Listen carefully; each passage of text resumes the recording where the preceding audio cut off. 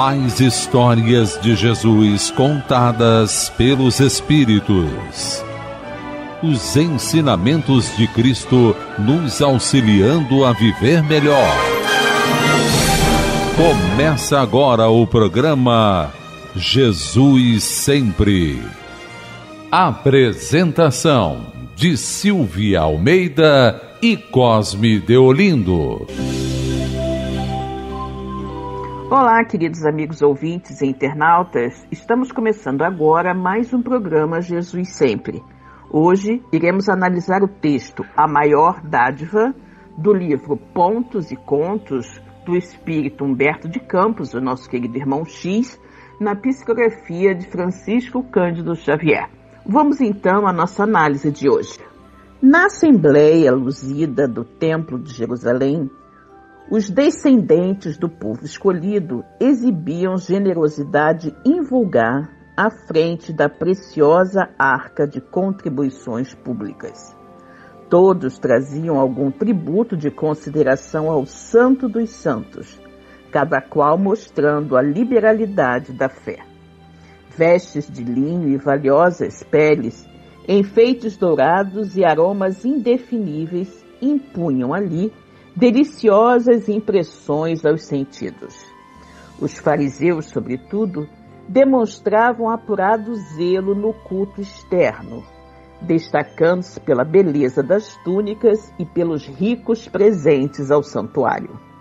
Jesus e alguns discípulos de passagem acompanhavam as manifestações populares com justificado interesse, e Judas, entre eles, empolgado pelo volume das oferendas, abeirava-se pelo cofre aberto, seguindo os menores movimentos dos doadores com a cobiça flamejante no olhar.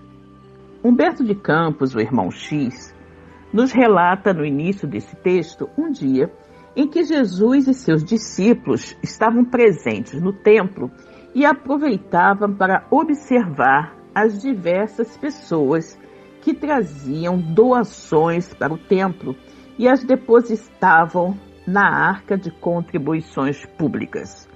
Eram, em geral, pessoas bastante aquinhoadas financeiramente que colocavam montantes grandes é, na arca de contribuições.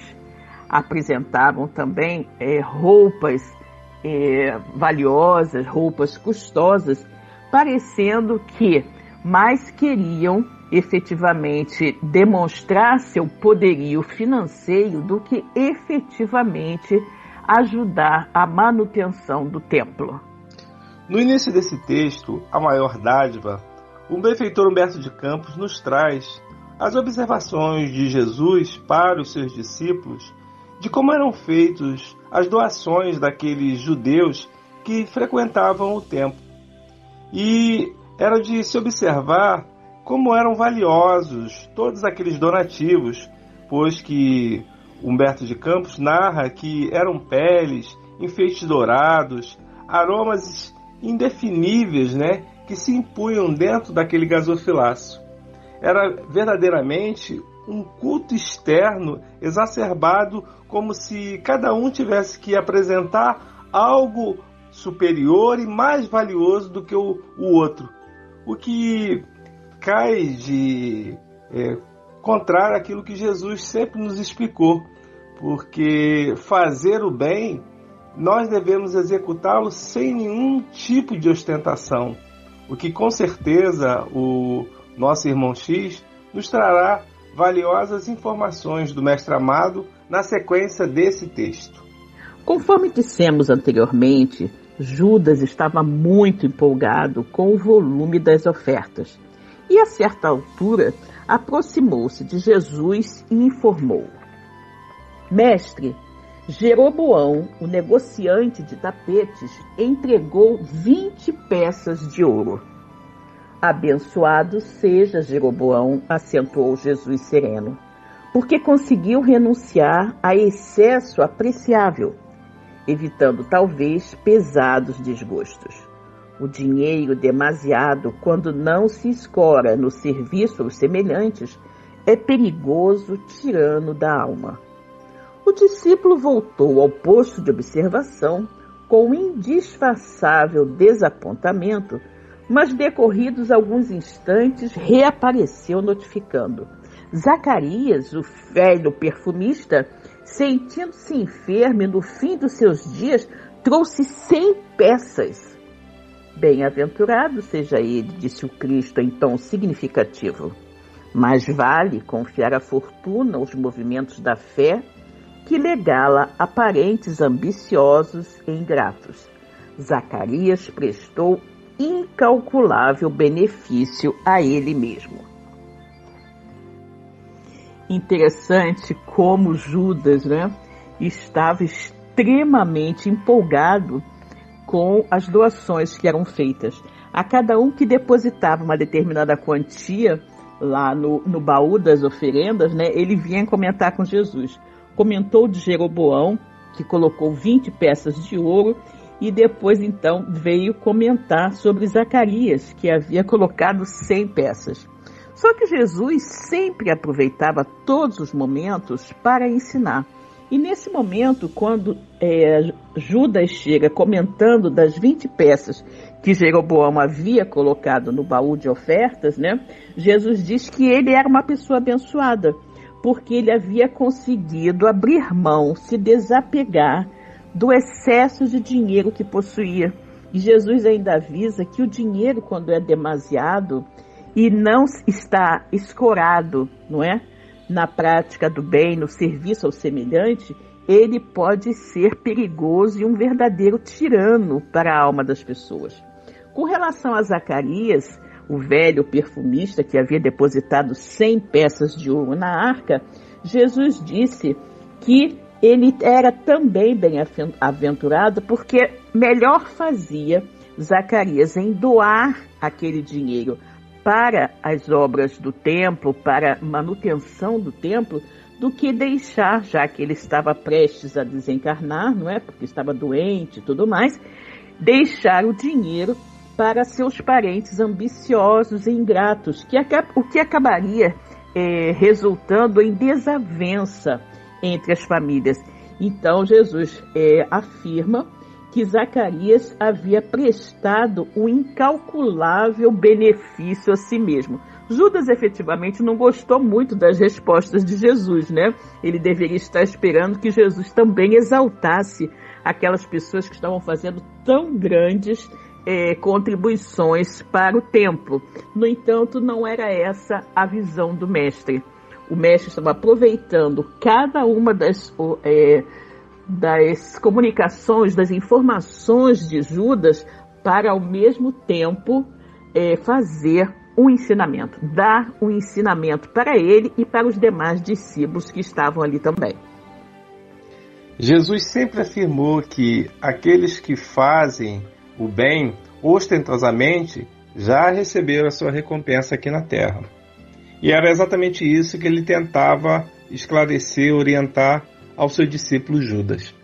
Embora ele soubesse, conhecesse é, na intimidade aquele que estava ao seu lado como discípulo, porque era é, trabalhador direto dele. E se Jesus nos conhece a todos intimamente, como ele não conheceria Judas?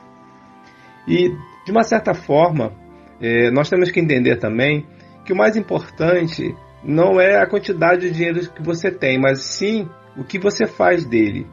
Porque se nós colocamos como meta única apenas amontoar esses recursos sem dividir com aqueles que necessitam, nós só estamos é, colocando em evidência o nosso egoísmo, o nosso orgulho, a nossa vaidade. O que vai nos fazer, de uma certa forma, nos afastar do nosso irmão maior que é Jesus e, consequentemente, de Deus, que é o nosso Pai. O que nós precisamos entender é que todos nós temos a possibilidade de mudar isso. E a partir do momento que nós é, tenhamos recebido esses recursos honestamente ou trabalhado para, é, de uma certa forma, é, juntá-los, amontoá-los e a gente exemplificar através da caridade, dando benefício às pessoas que necessitam, os recursos com certeza é, nos trarão benefícios. E como ele mesmo afirmou para Judas, aqueles que ali estavam entregando, é, ainda que não entendesse de uma certa forma é, os seus bens para a caridade, o próprio Jeroboão e mesmo aquele outro também, Zacarias, que ele se encontrava, Jesus tentava orientar a Judas que foi benefício para eles mesmos. Você está ouvindo o programa Jesus Sempre. Hoje estamos analisando o texto A Maior Dádiva do livro Pontos e Contos do Espírito Humberto de Campos, o irmão X, na psicografia de Francisco Cândido Xavier. Vamos então continuar com a nossa análise de hoje. Após mais esta resposta de Jesus, Judas voltou outra vez à fiscalização da arca para comunicar logo após ao grupo galileu. A viúva de Cã, o mercador de cavalos que faleceu recentemente, acabou de entregar todo o dinheiro que recebeu dos romanos pela venda de grande partida de animais. E baixando o tom de voz, completava cauteloso o apontamento. Dizem por aí que alguns centuriões planejavam roubar-lhe os bens. Jesus sorriu e considerou: Muitos recursos amontoados sem proveito provocam as sugestões do mal. Feliz dela que soube preservar-se contra os malfeitores. O aprendiz curioso regressou à posição e retornou loquaz. Mestre, Efraim, o levita de Cesareia, entregou duzentas moedas, duzentas. Bem-aventurado seja Efraim, falou o amigo divino sem afetação.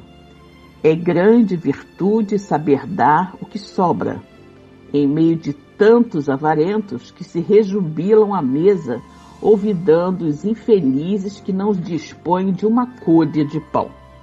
E Judas continua fazendo seus comentários com Jesus e os demais companheiros a respeito das doações que ele estava observando serem feitas, né? ele comenta sobre a viúva de Cã, um mercador de cavalos que havia desencarnado, não é? e que a viúva havia vendido grande quantidade de animais para os romanos, e que todo o fruto desta venda ela havia doado também para o templo. Ele também disse que falavam que os alguns centuriões planejavam roubar da viúva os seus bens e aí Jesus responde o seguinte: que ela era uma mulher também feliz e bem-aventurada, por quê? Porque ela, com esse gesto, é, soube se preservar do assédio de malfeitores, né? Que poderiam, obviamente, não apenas roubar-lhe o dinheiro, os bens, mas até mesmo tirar-lhe a vida. Né? E Judas continua comentando, desta vez, sobre Efraim, um levita de Cesareia que entregou 200 moedas, 200 moedas em doação para o templo. E aí Jesus mais uma vez faz um comentário é, positivo a respeito da doação, não exaltando especificamente a quantidade de dinheiro doado, mas o benefício que a doação traria para aquele que havia feito é, o donativo. E ele diz que era uma virtude, né? Era uma virtude saber doar, né? Aquilo que lhe sobrava quando tantas pessoas viviam de maneira muito avara, não é? E não doavam nada para ninguém, nem mesmo para aqueles que estavam passando necessidades e precisavam de um pedaço de pão.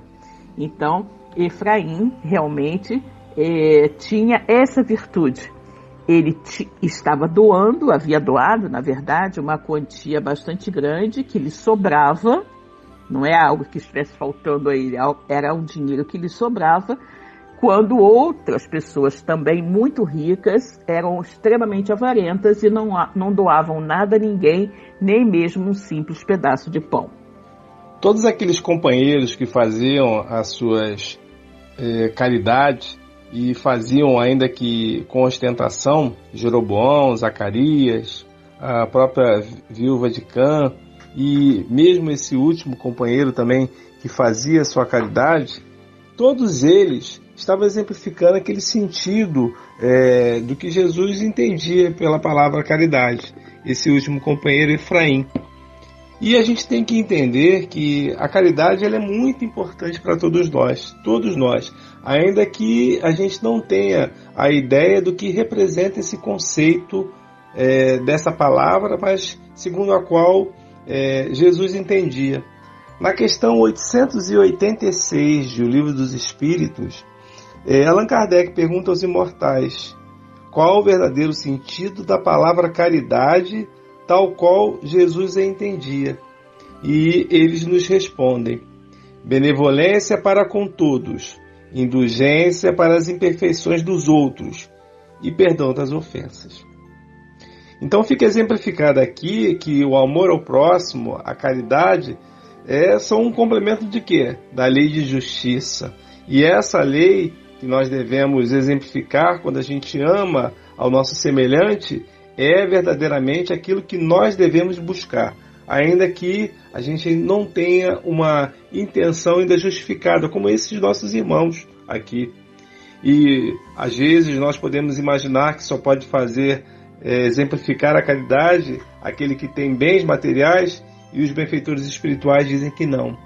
Que existe a caridade material, essa que representa é, com valores monetários, mas existe também a caridade moral, e essa caridade moral está é, aberta para todos fazer, independente se tem muito, muitos ou poucos recursos.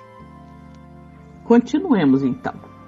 Nesse instante, penetrou o templo uma viúva paupérrima, a julgar pela simplicidade com que se apresentava. Diante do sorriso sarcástico de Judas, o Senhor acompanhou-a de perto no que foi seguido pelos demais companheiros. A mulher humilde orou e apresentou duas moedinhas ao fausto religioso do santuário célebre. Muitos circunstantes riram-se irônicos, mas Jesus apressou-se a esclarecer. Em verdade, esta pobre viúva deu mais que todos os poderosos aqui reunidos porquanto não vacilou em confiar ao templo quanto possuía para o sustento próprio. A observação caridosa e bela congelou a crítica reinante. Pouco a pouco, o recinto enorme tornou a calma. Israelitas nobres e sem nome abandonaram rumorosamente o domicílio da fé.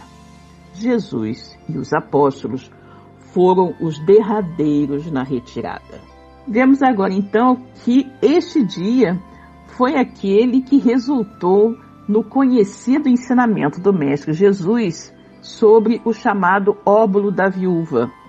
Após verem tantos homens riquíssimos depositarem grandes somas de dinheiro na arca de doações do templo, depositarem exatamente aquilo que lhes sobrava e sobrava muito, eles veem aparecer uma pobre mulher, muitíssimo pobre, uma mulher que depositou apenas duas moedinhas na arca após fazer suas orações.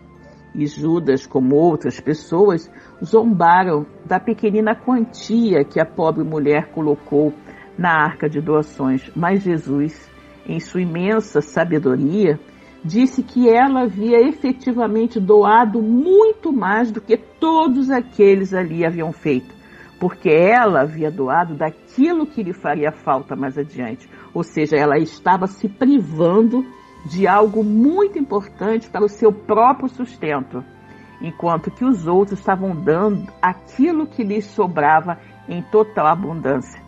Então é claro que para ela né? Diante de Deus, efetivamente, a doação daquelas duas moedas tinha um peso muito maior do que a doação de todo aquele dinheiro que havia sido dado anteriormente. Porque, mais uma vez, ela doava do que lhe faria falta, do que ela tinha para o seu próprio sustento. Nessa parte do texto, é, o benfeitor Humberto de Campos ele nos traz aquela passagem que ficou muito conhecida até os dias atuais, chamada o óvulo da viúva, como você mesmo acabou de relatar, Silvia. E de fato, essa passagem ela é muito importante porque ela exemplifica aquilo que nós devemos observar quando nós desejamos fazer o bem sem ostentação, mas porque simplesmente queremos fazer o melhor e aquilo que está ao nosso alcance. Allan Kardec também exalta esta passagem quando ele a coloca no Evangelho segundo o Espiritismo, naquele capítulo chamado é, Não sabe a vossa mão esquerda o que faz a vossa mão direita, que é o capítulo 13 da nossa obra da codificação, o Evangelho segundo o Espiritismo. E o que a gente tem como ensinamento maior aqui? Que todos nós, todos nós, podemos é, verdadeiramente é, nos doar de, dentro daquilo que nós temos maior importância. E quanto mais nós é, doarmos aquilo que nos faz falta, é exatamente isso que vai exaltar essa ação, porque ela tem um benefício muito maior, porque é como se nós estivéssemos, como se nós não, nós estaremos nos é, colocando em favor do outro, ou seja, estaremos estendendo a mão, estaremos nos doando, ou seja, é, nos colocando à frente é, do problema do outro é, perante ao nosso. E isso realmente é que justifica a questão do amor ao próximo, da caridade, tal qual entendia o nosso Mestre Celeste. Vamos agora então à conclusão do nosso texto de hoje. Quando Jesus e os apóstolos se dispunham a deixar a enorme sala vazia, eis que uma escrava, de rosto avelhentado e passos vacilantes, surgiu no limiar para atender à limpeza. Movimenta-se em minutos rápidos.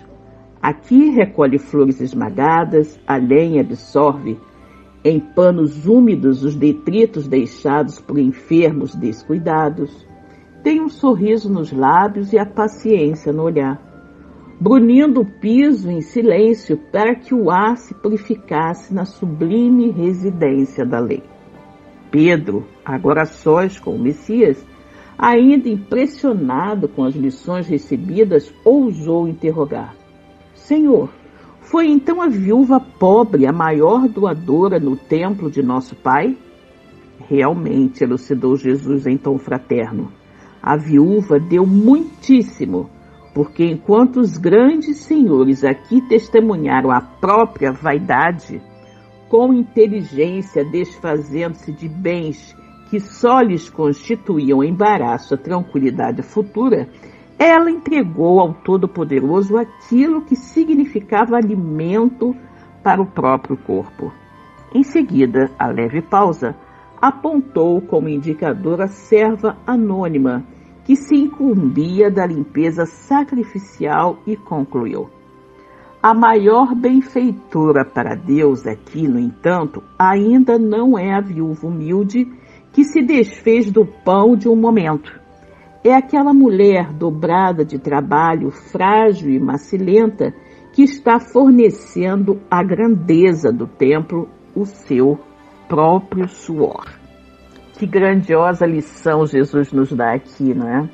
Ao dizer que foi a pobre escrava que estava limpando o templo com todo carinho e dedicação, quem havia sido a maior doadora, porque ela havia doado do seu próprio trabalho ela havia doado de si mesma, não é? Ela havia doado o seu suor em benefício do templo. Não eram moedas que depois ela poderia ganhar outra vez, não é?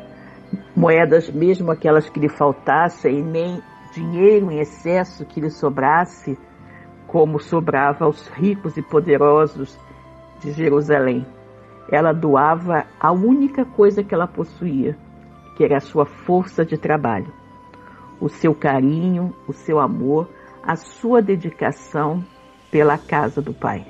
E aproveitamos para lembrar a todos, aqueles que não tiveram oportunidade de ouvir o nosso programa ao vivo, poderão fazê-lo nas reprises, que ocorrem aos domingos, às 20 horas e 25 minutos, e também às quartas-feiras, às 17 horas e 30 minutos. Também pelo YouTube e pelo Facebook, na página Programa Jesus Sempre. Para aqueles que desejarem enviar mensagens para o nosso programa, podem utilizar o WhatsApp da Rádio Rio de Janeiro, que é o 21 9848 67633. Lembrando-se de colocar no início de sua mensagem para o programa Jesus Sempre. Então, queridos amigos, queridos irmãos, desejamos a todos muita paz e tranquilidade com Jesus. Jesus sempre. A Rádio Rio de Janeiro apresentou o programa Jesus Sempre.